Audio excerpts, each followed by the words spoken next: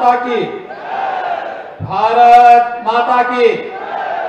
भारत माता की। वंदे। वंदे। वंदे। देवरिया जनपद की विभिन्न विकास परियोजनाओं के लोकार्पण और शिलान्यास के लिए आयोजित आज के इस कार्यक्रम में मंच पर उपस्थित प्रदेश सरकार में मंत्रिमंडल के वरिष्ठ सहयोगी, कृषि मंत्री और इसी माटी के लाल श्री सूर्य प्रताप शाही जी, जनपद के प्रभारी मंत्री और पड़ोसी जनपद के सपूत। और जनपद है या राज्य?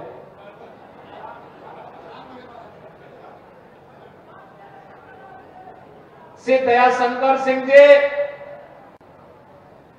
ग्राम्य विकास विभाग की राज्य मंत्री श्रीमती विजय लक्ष्मी गौतम जी, देवरिया के लोकप्रिय सांसद डॉक्टर रमापति राम त्रिपाठी जी,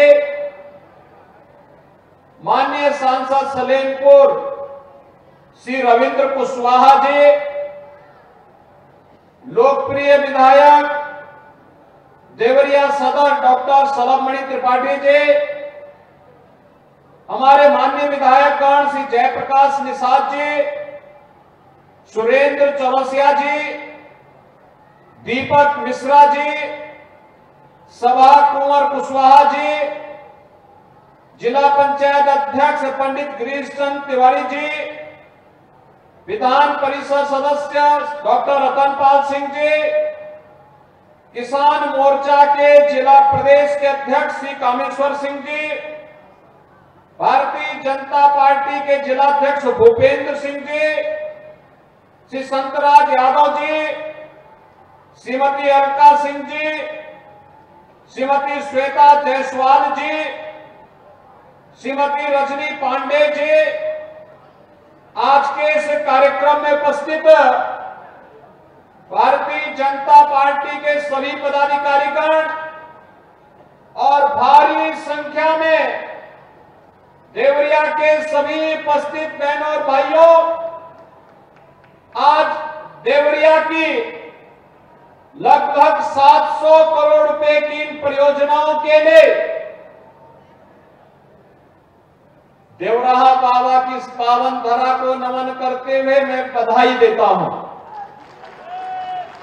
होली के पूर्व, क्योंकि होली के दौरान तो हो सकता है कि हम लोग चुनाव आचार संहिता के नाते कोई उद्घाटन शिलान्यास नहीं कर सकते। इसलिए मैंने कहा कि भाई जल्दी में ही सही। यहाँ पर हम लोग जाकर के होली का उपहार अपने देवरिया जनपद के बंधुगणों को उपलब्ध करवा दें। इसीलिए आज मुझे यहाँ पे 700 करोड़ रुपए की इन परियोजनाओं के साथ आपके जनपद में आना पड़ा है। देवरिया, ये हमारे लिए कोई नया नहीं है। मैं पिछले 30 वर्षों से लगातार देवरिया आ रहा हूँ। और देवरिया आकर के यहाँ पर जब मैं आता हूँ तो यहाँ के कार्यकर्ताओं के साथ, यहाँ की आवश्यकताओं के अनुरूप, यहाँ की जन समस्याओं को लेकर, जिन मुद्दों को लेकर के, जिन मूल्यों को लेकर के हम लोग संघर्ष करते थे, आज डबल इंजन की भारतीय जनता पार्टी की सरकार मोदी जी के नेतृत्व में उन्हें जमीनी धरातल पर उतारने का कार्य कर रही है। कोई सोचता था इस देवरिया ज़िले में भी मेडिकल कॉलेज स्थापित होगा। और देवराह बाबा के नाम पर उनकी स्मृतियों को प्रणाम करते हुए इस मेडिकल कॉलेज का निर्माण डबल इंजन की सरकार ने यहाँ के जनप्रतिनिधियों के मांग पर स्थापित किया है। देवराह बाबा को नमन करते हुए मेडिकल कॉलेज के लिए भी आप सबको हृदय से बधाई देता हूँ। बहनों, भाइयों यहाँ पर, यहाँ की जो एक मांग है? और मैं भी बार बार कहता हूँ, मेरी इच्छा भी थी कि लोकसभा चुनाव के पहले शिलान्यास करें, लेकिन न्यायालय में मामला लंबित होने के नाते हम लोग नहीं आ पा रहे, लेकिन देर सवेर करेंगे ज़रूर। सुगर कॉम्प्लेक्स, जिसमें चीनी मिल भी होगी डिस्लरी भी होगी, इथेनॉल का प्लांट भी होगा। और को जनरेशन का इलेक्ट्रिसिटी के निर्माण की कार्रवाई भी यहाँ पर कोजन प्लांट भी होगा। एक साथ एक कॉम्प्लेक्स यहाँ पर बने, इसके लिए भी हमने पैसा रखा हुआ है।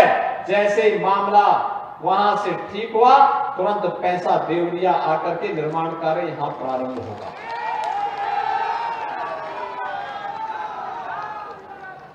देखो भाइयों आज देवरिया और कुशीनगर के लिए। महात्मा बुद्ध के नाम पर कृषि और प्रौद्योगिकी विश्वविद्यालय का शिलान्यास भी कुछ ही देर में होने जा रहा है। यह हमारा कृषि प्रधान क्षेत्र है। कभी देश के अंदर चीनी के कटोरे के रूप में विख्यात देवरिया और कुशीनगर जिला, समय के अनुरूप सरकारों की उपेक्षा के कारण पिछड़ते गए। नेतागिरी आदि होती गई। विकास से कोसों दूर होते गए। परिणाम क्या था? परिणाम था, यहाँ गरीबी छाती गई, चीनी मिले बंद बंद होती गई। पिछली सरकारों ने औने पौने दाम पर इन चीनी मिलों को बेचने का काम किया। लेकिन बहन और भाइयों, हम कहने के लिए आए हैं, हमने पिपराइच और मुंडेरवा की चीनी मिल चला दी है। अब देवरिया के अंदर चीनी मिल चलाने के साथ साथ एक कृषि विश्वविद्यालय हमने कुशीनगर में दे दिया है। उसका एक कॉलेज भी हम लोग देवरिया के लिए स्थापित करने जा रहे हैं। अब देवरिया पिछड़ा नहीं रहेगा। प्रकृति और परमात्मा की ऋषि मुनियों की, संतों की, स्वतंत्रता संग्राम सेनानियों की साधना से उनके परिश्रम और पुरुषार्थ से, उनके सौर और पराक्रम से जिस ज़िले ने देश के लिए अपना जीवन जिया हो, वह जनपद अब किसी के सामने हाथ नहीं फैलाएगा। बल्कि और जनपद अपने पौरस और अपने पराक्रम से ये सारी चीज़ें लेकर के आएगा। और आपका यह पौरुष और पराक्रम अब आपके वोट में दिखता है। और मैं आभारी हूँ, सचमुच इस बात के लिए आभारी हूँ। जब विधानसभा का चुनाव चल रहा था, देवरिया जनपद ने सभी सीटें कमल निशान के लिए अर्पित की। सभी सीटें हमें चुना करके दे दी। सभी सीटें में दी। तो स्वाभाविक रूप से जब आपने 100 परसेंट रिज़ल्ट दिया है तो 100 परसेंट अपेक्षाओं पर खरा उतरने के लिए 100 परसेंट कार्य भी हमें करना है।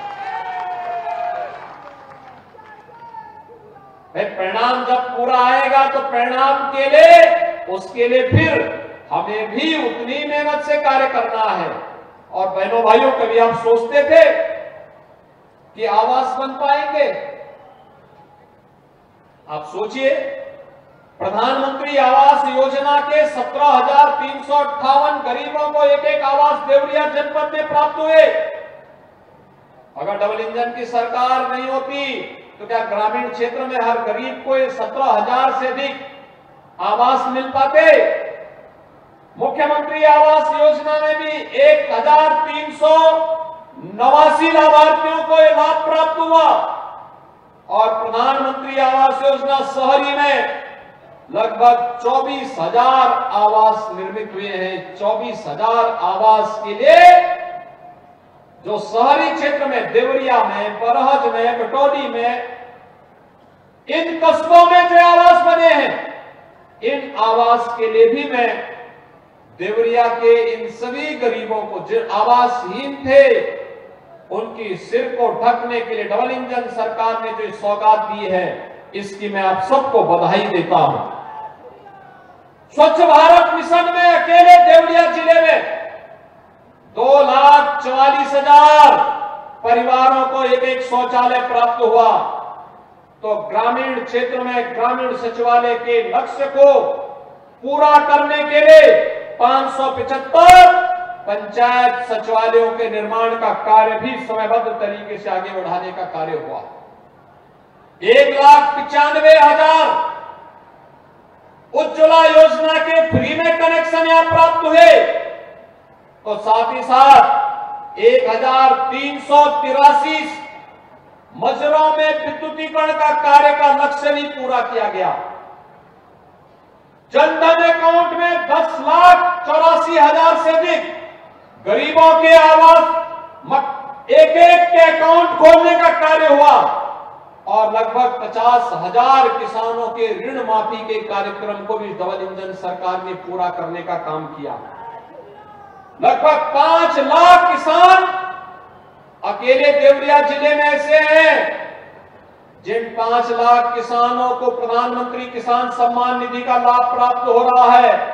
और अभी तो यहाँ पर हम लोग पीएम कुसुम योजना के अंतर्गत ट्यूबवेल पर, हमने अभी ट्यूबवेल की बिजली फ्री की है। सोलर पैनल लगाने की कार्रवाई को भी आगे बढ़ाने का कार्य हो रहा है।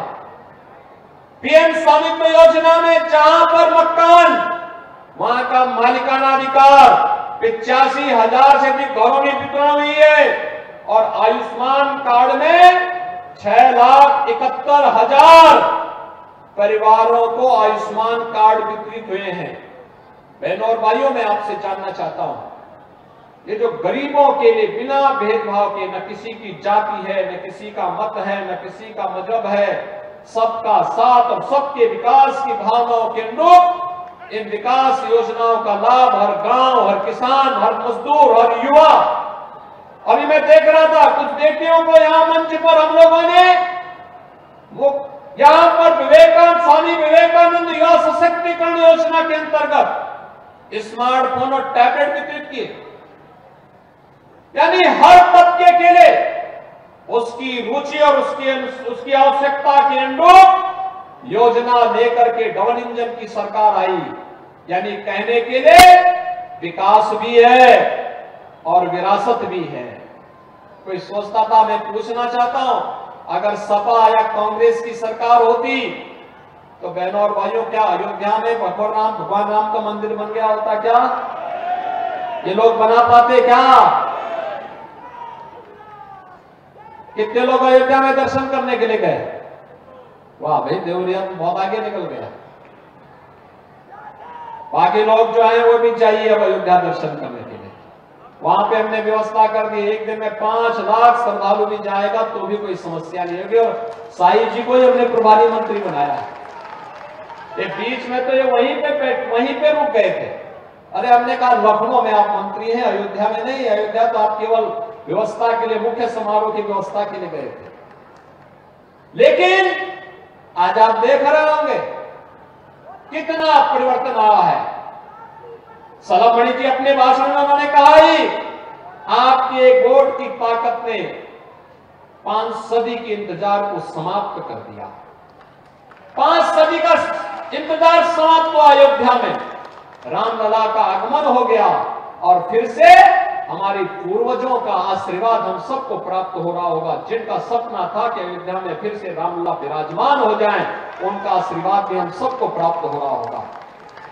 वे हमें इस बात के लिए आशीर्वाद दे रहे होंगे कि वर्तमान पीढ़ी इसके लिए आयुष्मान भव क्योंकि इस पीढ़ी ने उनके सपने को साकार कर दिया है और हम सबको आभार व्यक्त करना चाहिए प्रधानमंत्री नरेंद्र मोदी जी का जिनके कारण, जिनके विजन के कारण ये सब कार्य संभव हो पाया है।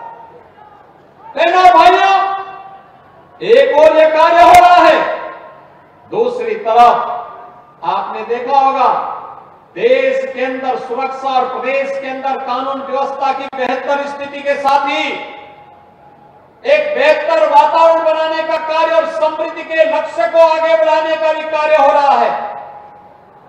आज हम सब इसीलिए आपके पास आए हैं।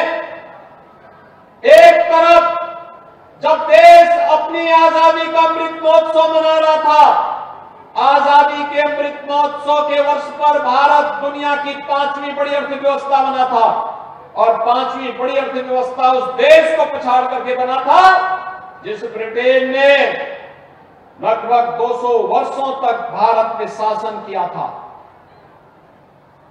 प्रधानमंत्री मोदी जी को तीसरे कार्यकाल में एक अवसर दीजिए, भारत दुनिया की तीसरी बड़ी अर्थव्यवस्था बनेगा और भारत को दुनिया की तीसरी बड़ी अर्थव्यवस्था बनने का मतलब हर व्यक्ति की आय में बढ़ोतरी होना, हर एक के जीवन में खुशहाली आना, भारत दुनिया की एक ताकत बनेगा।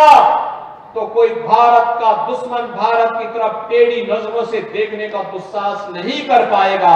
और उसी नए भारत और विकसित भारत की परिकल्पना को साकार करने के लिए जन जन से एक आवाज़ आ रही है। और वो आवाज़ है, फिर एक बार, फिर एक बार, फिर एक बार मोदी सरकार मोदी सरकार के लिए आप सभी लोग संकल्पित होकर के गाँव गाँव घर घर जाएँगे। आज यही आह्वान करने के लिए मैं आया हूँ। जब घर घर जाएँगे तो अब की बार 400 पार ज़रूर होगा। जाएँगे ना? सब लोग तैयार हैं? और इसीलिए मैं कहने के लिए आया हूँ आप जिसके बारे में सोचेंगे, उससे ज़्यादा डबल इंजन की सरकार आपको करके दिखा देगी। जो भी आवश्यकता होगी, बिजली की, पानी की, सड़क की, स्टेडियम की, स्कूल की, चीनी मिल की, स्वास्थ्य की, शिक्षा की, रोज़गार की, देवरिया में भी निवेश हो रहे हैं, अभी ग्राउंड ब्रेकिंग में लगभग एक हज़ार करोड़ रुपए का निवेश का प्रस्ताव तो अकेले देवरिया ज़िले के अंदर ग्राउंड ब्रेकिंग हुआ है। ये नए भारत का नया उत्तर प्रदेश है और नए उत्तर प्रदेश में नया देवरिया है। देवरा बाबा भी अब खुश हो रहे होंगे, आशीर्वाद बरसा रहे होंगे। और हम लोगों ने तय किया देवरा बाबा के नाम पर मेडिकल कॉलेज बना है। अभी देवरा बाबा के आश्रम मईल में भी हम लोग वहाँ के सुंदरीकरण के बड़े कार्यक्रम को आगे बढ़ाने जा रहे हैं। क्योंकि ऋषि मुनियों ने संतों के आशीर्वाद से यह व्यवस्था आगे बढ़ी है। विरासत का संरक्षण, विषम परिस्थितियों में उन्होंने करके हम सबको एक नई प्रेरणा दी। और आज उसी परंपरा को आगे बढ़ाने के लिए हम सब आज यहाँ पर आए हैं। भाइयों बहनों, आज 700 करोड़ रुपए की जो परियोजनाएँ यहाँ के लिए उपलब्ध हो रही हैं जिनमें प्रधानमंत्री आवास योजना के लाभार्थियों को भी लाभ दिया गया है।